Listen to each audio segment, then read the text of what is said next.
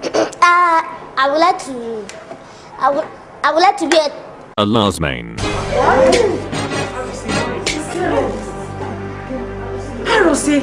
Before I start this, I want to say big thank you to everybody this year. You know, we've grown so much. I appreciate all of you copying the merch if you have already, subscribing to the channel, the Twitch, the Instagram, the Twitter. Really appreciate all of you. We're almost at 50k subscribers. I just find that incredible. So I just want to thank everybody for a second. And yeah, just keep it going. You know, once I get 50k, I'm gonna do a Q&A and we'll be able to upload a wider variety of things. So Dragon Ball, NBA, everything. That's number one. Number two, don't ask me for any other tutorials. I'm only doing this because I've been asked several, several, several, several times, and it's a promise I have to fulfill in the best way possible. I don't care about AK, I don't care about Kunimitsu, I don't care about Feng or Steve or Geese. Don't ask me, I'm not doing it. and yeah, fam, let's get started, fam. So my general overview of Lars is that he's a generally risky but rewarding character. He's got good damage and good pokes, but lacks in neutral with unsafe lows and tracking. He's kind of like LeBron James in punishment combos and pokes and damage, but basically J.R. Smith in everything else. So with pokes, he's got irritating ones like 1, 1 4, 2 1, and down forward 1, down back 1. These can all be used to grab cheap, quick damage in a quick jab game. 1 4 is a high low string that's good for ending routes or chipping away at opponents. 2 1 has two extensions. 2 1 4 are knockdown safe high, and 2 1 3 an unsafe knockdown mid, which counter launches but is minus 12. Both strings are pretty delayable and can be used to your advantage. But remember this with Lars, if it's a good mid, there's always going to be an issue with it, I promise. Here are some good moves he has done. Back 4, although it's quite linear, it's a nice chunky mid knee, safe on block, 23 normal damage, 55 counter with an animation, and 60 with rage. So anticipate using it to close our rounds, if anything. Up forward 3 being your go-to panic move. If you're scared, you don't know what to do, or you're being pressured, this is the way to go. High, certain mid, and certain low crushing, and leads to a solid combo. I-16 so it's quite fast, but do be careful. He also has back 1 which is a decent tracking move. Lacks some range, but is okay. I-15, safe, good for keeping opponents out of range. Forward forward 1 plus 2, safe on block mid that launches on counter does some pretty decent damage too, so it's good to use in the neutral. Even though down 2 isn't too plus heavy on block, it still forces crouch on the opponent, so you do have a chance to get your advantage. For I-10, Lars has 1-2 or 2-1, I-12 forward 2-4, I-13 forward 1 plus 4, I-14 forward back 2-1, 15 forward 1 plus 2 arc blast, 16 down forward 2-1 or up forward 3. While standing, I-11 while standing 4, I-13 while standing 2-1, I-15 being while standing 1, and I-16 being up forward 3. With while standing 2-1 though, you can press while standing 2 forward to go into silent entry, or while standing 2 down to go to dynamic entry, which is perfect for mix-ups. Lars' counter game is okay, hasn't been the greatest for a while, but it's the best we can do for now. He's got some decent options. You got 111, it's a jab string that wall and is I-10 and is very good for some frame traps. Back 1, a decent range tracking move that knocks you down giving you nice oki on certain situations. Back 4, need I say more?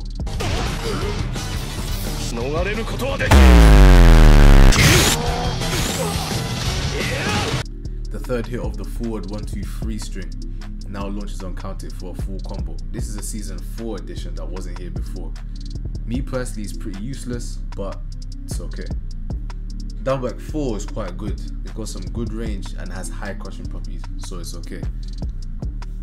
Full crush down forward 2. Although it's not the same as Tekken 6, it's still quite good to have as a full crush option for counting. You can try use low pokes with Lars, but in one way or another they're quite mediocre. In my opinion, the risk you take to do a low with Lars most times is not worth the reward. Firstly, you have down back 1 which is an unseeable low poke. but only does what 9 damage and leaves you minus 1 on hit. There is an extension being down back 1 3 and down back 1 3 down, which leaves you crouching for a mix up. But again, it's minus 1 on hit and death on block. He has a generic down 4, which is okay, but I recommend you use this as a quick, safe round ender, as the move lacks any sort of range or reliability for you to use it in a reliable manner. Lars' down back 4 is plus 5 on hit, giving you the advantage to attack first. Your options from this are either while standing moves or full crouch moves. So you either while standing 4 to be safe, while standing 2 into silent entry for a mix up, while standing 2 into dynamic entry to bait a whiff as he moves backwards, while standing 1 for a direct launch, or up forward 3 for a launch. Lars's full crouch down forward 1 plus 2 is another low, which in my opinion, one of his best lows. Decent damage, and for Lars, only being minus 12 or 13 is a safe low. After a down back 4, you could also do a full crouch down forward 2 if you know they're going to press for another nice counter launch. Down 1 plus 2 is a high crushing low, which knocks down on hit, giving you a free silent entry mix up after while standing 2. But again, it's death on block. Down 3-1 is very useful at walls against the opponent staying on the ground of the wall. Finally, he has forward forward 4-3. This, excluding the block frames, is his best low. It lacks some range and both hits are launch punishable, but it's his hell sweep, a 2 hit natural combo with some nice damage on it. This can also be done in his dynamic entry stance, which I'll get to now. Although the stance game wasn't really used that much in Tag 2 on Tekken 6, even when it came to combos, I felt in Tekken 7 this is the part of Lars' game which got strengthened so so so much and now almost defines him as a character. Here are the stances and the moves. Dynamic entry which can be entered by pressing forward 3 and cancelled by pressing down. Do this repeatedly to get his wave dash. It can also be done through while standing 2, hold down. Dynamic entry 1 is the equivalent of a down forward 1 but a high elbow. It can be followed up with 2, so dynamic entry 1 2. It can be used in combos if a wall is nearby. Dynamic entry 2, a counter launching mid which is perfect for Oki and helps his combo fill a game so so so much. Dynamic entry 3, a plus frame, nice mid wall bounce. Although it's quite slow, it's very rewarding on hit and on block. Dynamic entry 4-3, his hell sweep and a nice solid round enter while in stance. Dynamic entry 2 plus 3, his insta shining wizard throw which does good damage but is a 1 plus 2 break. And dynamic entry 1 plus 2, the tailspin which is used in combos and a good whiff punisher. His dynamic entry 3 plus 4 is his rage drive, but we'll get to that in a second. Next is silent entry. This can be entered by pressing forward after certain moves. For example, forward 1 2, back 3, down back 2, and while standing 2. And even after a manual forward 3. But I don't recommend you do any of these out in the open. They are quite risky for Lars. The options are silent entry 1, a wall bounce, good for mix-ups and a good combo ender. Silent entry 2, a good low option for Lars, which is perfect for mix-ups.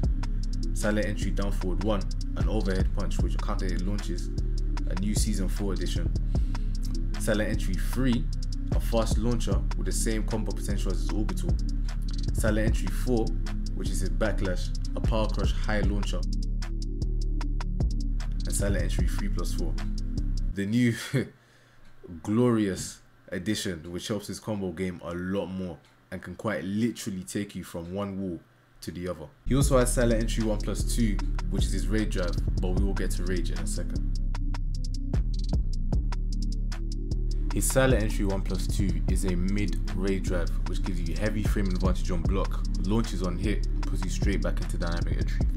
All your plus frame options are off dynamic entry and you can again press down to cancel. Usually what a lot of Lars players like doing is pressing back 2 plus 3 instantly after the rage drive on block which gives you the unblockable to get a free launch. It can be interrupted but once it hits can give you nice damage. His second rage drive dynamic entry 3 plus 4 is a new season 4 edition. It's a low mid string, although minus 13 on block and gels is perfect. It gives you nice damage. If used at the end of a combo by the wall, you get a guaranteed down back 2-1 and shoulder after the combo.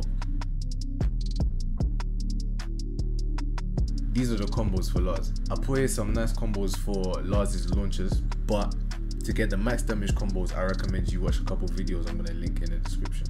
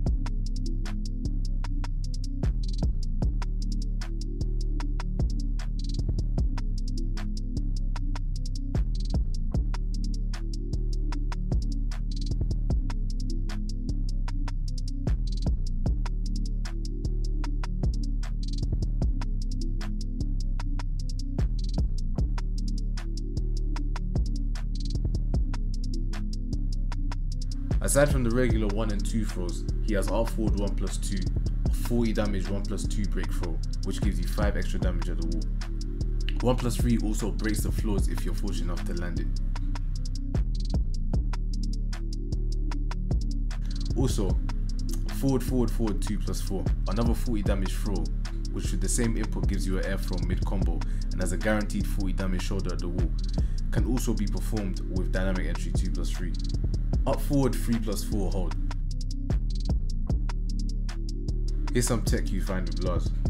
During a combo, instead of doing back 3 forward 1, do back 3 forward down forward 1. This puts your opponent back on the ground for a mix up. Essentially, you either hit them with the low, down 1 plus 2, or if they duck a mid, being either forward forward 1 plus 2 as a safe option, up forward 4 to relaunch them, or running free to acquire plus rings, or maintain your turn and momentum. If they stay on the ground, down 1 plus 2 does the trick. When back 4 trades, you're plus 15. If you can, get a forward 1 plus 2 to get damage. Get forward back 2 1 if you're prepared for more damage, but forward 2 4 is the easiest option. You have an extra 3 frames to do so as well. Or standing 3 down for plus 7 to set up counter hit full crouch mix ups.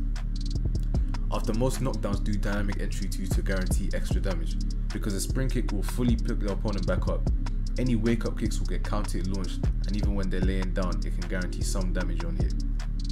After successful wall carry, do down forward 1, down back 2 1, and then forward forward 2 forward into silent entry. Then either press 2 if they stay grounded, or 3 if they wake up back turn for a launch. It can be avoided if they tech roll early, so make sure you know what to do. When full crouch down forward 2 launches on counter, side step left and do this combo.